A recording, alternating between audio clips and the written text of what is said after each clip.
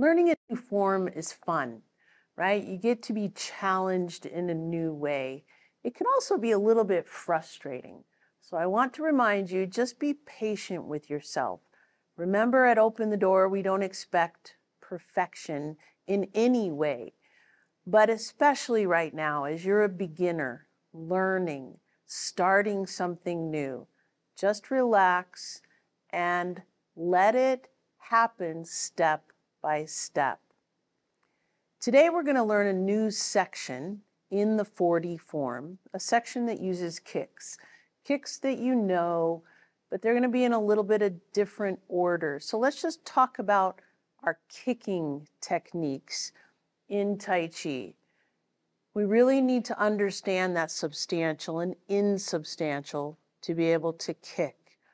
If you let all the weight come onto that right leg, let your left leg become completely empty, then lift and kick out and come back in. Thinking about the left leg being completely empty should help your brain to think this is easy. It's empty. It's easy to lift, kick, and bring it back down. We also want to be thinking about, if we can, lifting from the dantian. We're not just lifting from the knee, actually. We're lifting from here and kicking and bringing it back in. You have to think about your columns as well. You want that supporting leg. Yes, you want your shoulder to be in line with your hip, which is also in line with your leg, but your knee is going to be slightly bent. You never want it to be locked. This is going to help keep your balance to lift and kick. So just practice side to side, bringing all the weight onto one side. The other leg is completely empty. And you're lifting from your dantian. Let your dantian lead that motion. Let your supporting leg, the one that is substantial, be slightly bent. Remember, we never want locked joints in Tai Chi. One more kick. One other thing is don't worry about the height of the kick. Makes no difference. What I want you to think about is balanced as you're kicking. So when we, in our last section, we ended after our wave hands like clouds, we ended with another single whip. We go into high pat on horse and this section is just like the 24 form. So if you're familiar with 24 form, this will feel very easy. So you're here in your single whip.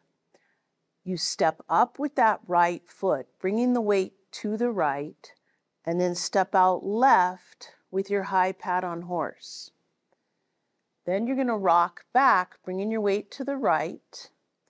Bring your weight all the way to the left. Let this right leg become completely empty lift from your dantian, kick, smash, lowering your center of gravity, box the ears. Then you're going to rock back, bringing your weight to the right. Let this left leg become completely empty, and you're going to kick straight down the line. Now, in the 24 form, what do we do after we kick, smash, and box the ears? We kick left. But what we do is we turn over that left shoulder and kick left. This time, after your kick smash and box the ears, you're still going to be facing this direction, but you're going to kick straight down that line. Remember, this is west. You're going to kick completely west. Now, the fun part of this section is you're going to put that left foot down and you're going to turn all the way around so that now you're facing west again. Weight is on the left, and you get to kick right.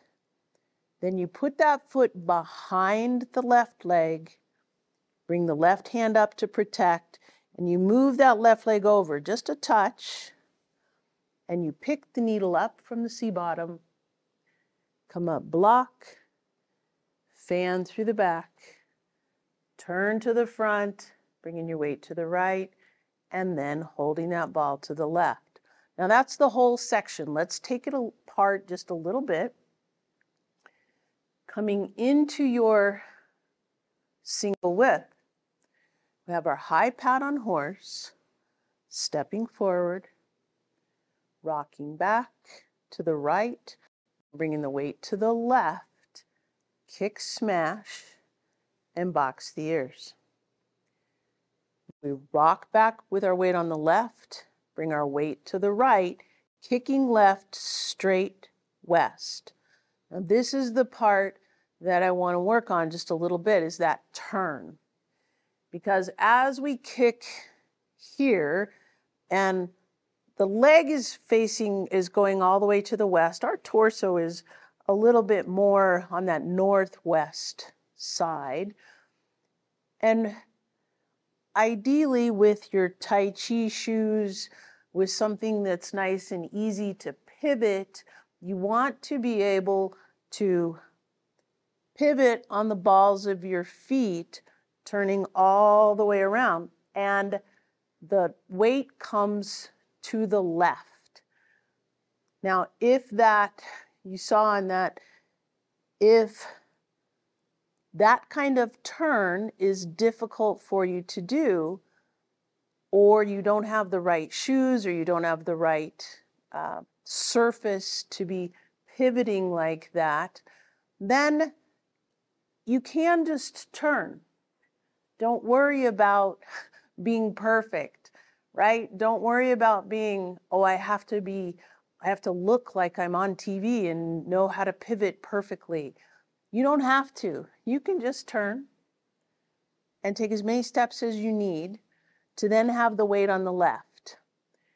If you want to do that turn, again, you're going to have this left foot over the right and you're going to turn all the way around, then the weight's on the left and you kick right. So let's get into that one again coming from your single whip, high pat on horse, step out, cross your hands.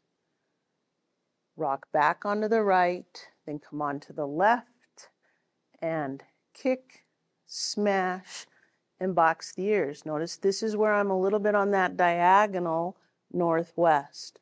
I rock back onto the left, bring my weight onto the right, kick left, straight west, and then I turn.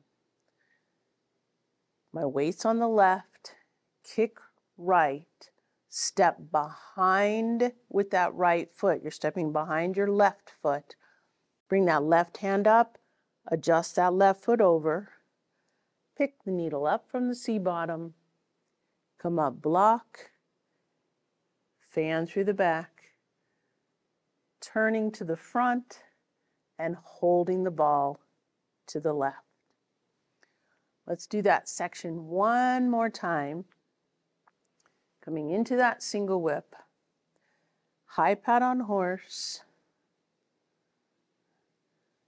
kick, smash, and box the ears.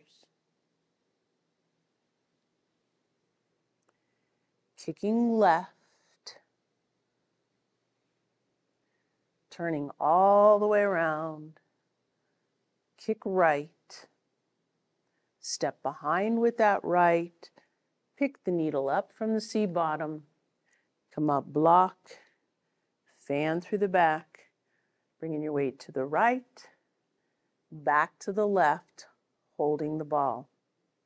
So it's a very short little section, but practicing those kicks, practicing your substantial and insubstantial, practicing lifting from the dantian, making sure that you are balanced as you kick, not worrying about the height, but being balanced and then being able to do that turn either by pivoting or just by moving your feet.